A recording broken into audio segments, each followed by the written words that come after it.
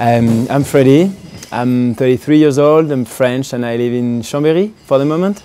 I've been playing drums since very young age for uh, many years uh, professionally and at some point I decided to uh, go to the mountain, fly paragliders, uh, climb and uh, highline and skyline and now I can uh, mix uh, those two techniques and fly my drums. Until now I practiced, uh, I didn't really practice, I just practiced doing it.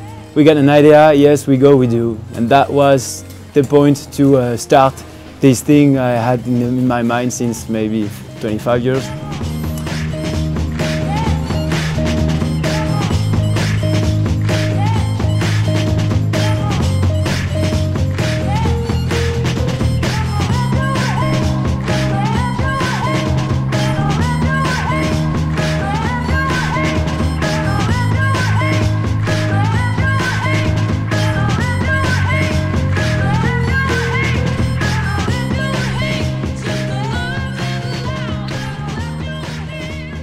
For the moment, the craziest place I've been playing the flying drums is definitely that big rope swing in the Gorges du Verdon, which was a 70 meter rope swing, which is my first reaction after that was that's definitely the silliest thing I've, I've done ever.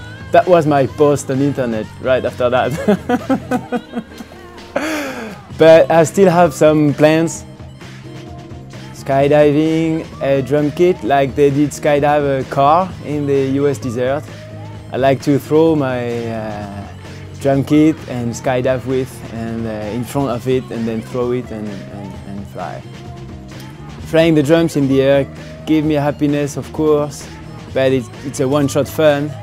The real happiness is more when we do some crazy stunts or fly together with other friends when we have some crazy projects and we do some together things. Yeah, having a flying band is of course a, a, a planned. I already uh, did some duets with some guitarists and some saxophonists.